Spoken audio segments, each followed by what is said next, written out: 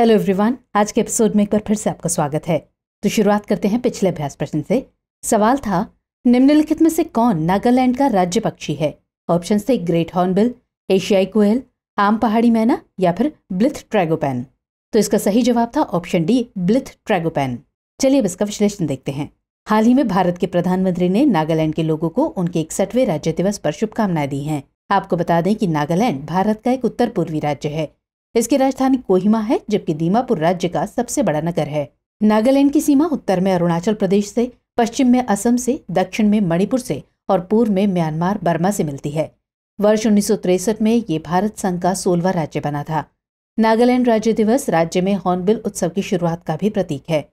Blithe tragopan इस राज्य का राज्य पक्षी है, इसलिए विकल्प डी सही है। चलिए, अब आज के सेशन का पहला सवाल देखते हैं। हाल ही में चर्चित अभ्यास मिलन के पहले संस्करण में कौन सा देश इसका भागीदार नहीं था? इंडोनेशिया, सिंगापुर, ऑस्ट्रेलिया या फिर थाईलैंड? तो इसका सही उत्तर है ऑप्शन सी, ऑस्ट्रेलिया। हाल ही में भारतीय नौसेना ने जानकारी दी है कि वो अगले साल की शुरुआत में अपने सबसे बड़े बहुपक्षीय अभ्यास मिलन की मेजबानी करने की तैयारी कर रही है। अभ्यास मिलन एक द्विवार्षिक बहुपक्षीय नौसैनिक अभ्यास है। इसकी शुरुआत वर्ष उन्नीस में चार देशों, इंडोनेशिया, सिंगापुर, श्रीलंका और थाईलैंड की भागीदारी से हुई थी। जबकि ऑस्ट्रेलिया इसके प्रथम संस्करण में शामिल नहीं था। मिलन के पिछले संस्करण, जो विशाखापत्तनम के तट पर आयोजित किया गया था, में 40 से अधिक देशों ने भाग लिया था। तो इसलिए विकल्प सी सही उत्तर है। चलिए अगला सवाल। हाल ही में समाचारों में आए एंथ्रोबोट शब्द के संबंध में निम्नलिखित कथनों पर विचार कीजिए। कथन एक, इसका निर्माण मानव श्वास नली कोशिकाओं से किया गया है। और कथन दो, ये किसी प्रयोगशाला सेटिंग की आवश्यकता के बिना न्यूरॉन्स को ठीक करने में सक्षम है। आपको बताना है कि इनमें से कौन सा या कौन से कथन सही है सही है। ए केवल एक, बी केवल दो, सी एक और दो दोनों, या फिर डी ना तो एक और ना ही दो। तो इसका सही आंसर है ऑप्शन ए केवल एक। हाल ही में एंथ्रोबोट्स शब्द खबरों में देखा गया। दरअसल, शोधकर्ताओं द्वारा मानव कोशिकाओं का उपयोग करके बनाए गए लघु रोबोट्स को एंथ्रोबोट्स नाम दिया गया है। एंथ्रोबोट्स मानव श्वासनली कोशिकाओं का उपयोग करके बनाए गए हैं, इसलिए कथन एक सही है। ये स्वसंयोजन की क्षमता वाले बायो रोबोट हैं।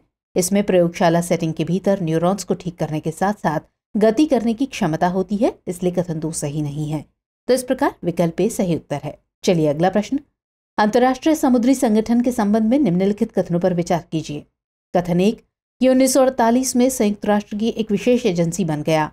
और कथन दो, इसका मुख्यालय न्यूयॉर्क में स्थित है। आपको बताना है कि इनमें से कौन सा या कौन से कथन सही है या सही है? केवल एक, केवल दो, एक और दो दोनों, या फिर ना तो एक और, ना ही दो। तो सही जवाब है ऑप्शन डी, ना तो एक और, ना ही दो।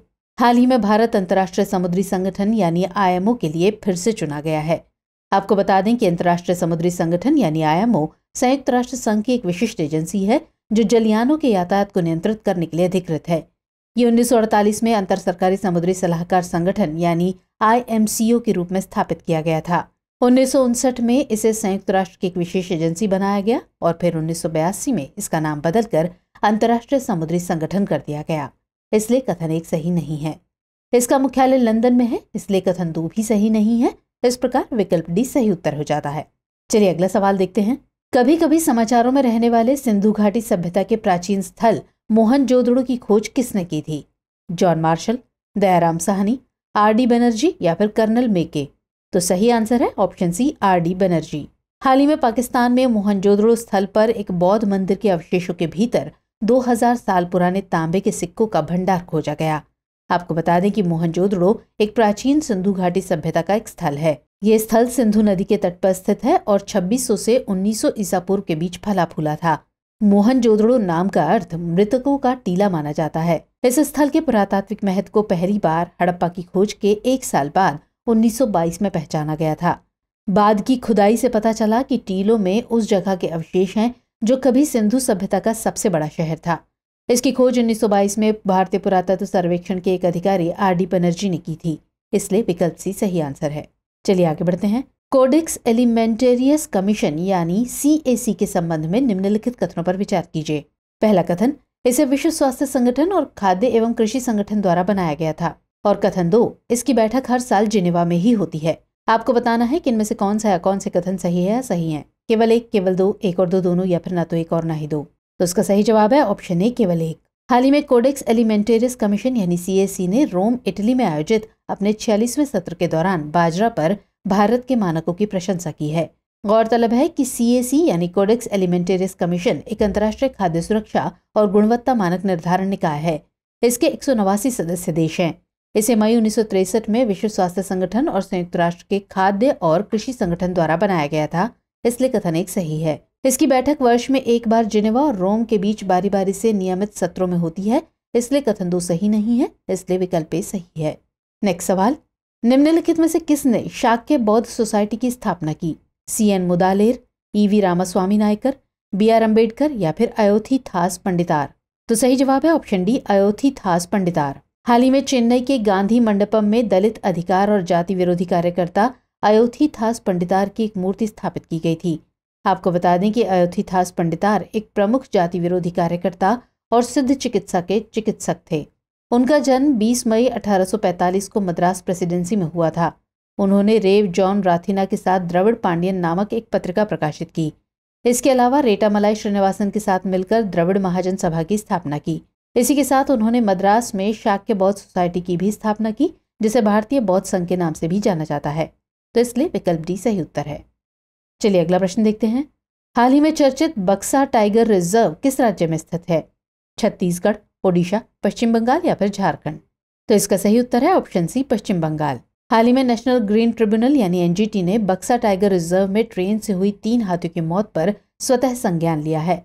आपको बता दें कि बक्सा टाइगर रिज़र्व यानी बीटीआर पश्चिम बंगाल के जलपाईगुड़ी ज़िले में स्थित एक संरक्षित क्षेत्र है। इस रिज़र्व के उत्तरी किनारे पर सिंचुला पहाड़ी श्रृंखला स्थित है और इसकी उत्तरी सीमा भूटान के साथ लगती है, जबकि पूर्वी सीमा असम राज्य को छूती है। इसे इसका नाम बक्सा किले से मिला है, जो आठ सौ सड़सठ मीटर की ऊंचाई पर सिंचुला रेंज पर स्थित है। रेडक नदी और जयंती नदी बक्सा के जंगल से होकर बहती हैं। इस रिज़र्व के जंगलों को मोटे तौर पर नम उष्णकटिबंधीय वन के रूप में वर्गीकृत किया जा सकता है, इसलिए विकल्प सी सही है। अगला सवाल ये अफ्रीका और एशिया महाद्वीपों के बीच हिंद महासागर का एक प्रवेश द्वार या विस्तार है। ये विश्व का सबसे उत्तरी उष्णकटिबंधीय समुद्र होने के साथ दुनिया के सबसे गर्म समुद्रों में से एक है।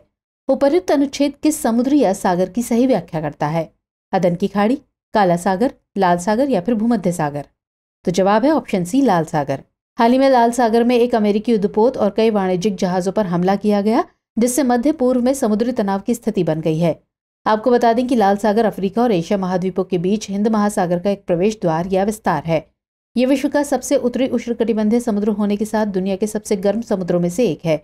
यह अदन की खाड़ी और बाब अल मंडेब की संकीर्ण जल डमरू मध्य के माध्यम से दक्षिण में अरब सागर और हिंद महासागर से जुड़ा हुआ है। लाल सागर का उत्तरी भाग सिनाई प्रायद्वीप द्वारा अकाबा की खाड़ी और स्वेज की खाड़ी में विभाजित है, जहाँ ये प्रसिद्ध स्वेज नहर के माध्यम से भूमध्य सागर से जुड़ा हुआ है। मिस्र, Saudi Arab, Yemen, Sudan, Eritrea और जिबूती की सीमा इस सागर से लगती है, इसलिए विकल्प सी सही है। चलिए नेक्स्ट सवाल। हाल ही में समाचारों में देखा गया प्रोजेक्ट कोई पर किसकी एक पहल है? माइक्रोसॉफ्ट, अमेजन, स्पेसएक्स या फिर नासा? तो इसका सही जवाब होगा ऑप्शन बी, अमेजन। हाल ही में अमेरिकी बहुराष्ट्रीय प्रौद्योगिकी कंपनी अमेजन ने अपने प्रोजेक्ट कुइपर के लिए अमेरिकी अंतरिक्ष कंपनी स्पेस एक्स के साथ एक समझौते पर हस्ताक्षर किए हैं। आपको बता दें कि प्रोजेक्ट कोई पर लो अर्थ ऑर्बिट में 3,236 उपग्रहों का नेटवर्क बनाने के लिए अमेजन कंपनी की एक पहल है। इसका उद्देश्य दुनिया में कहीं भी हाई स्पीड इंटरनेट एक्सेस प्रदान करना है।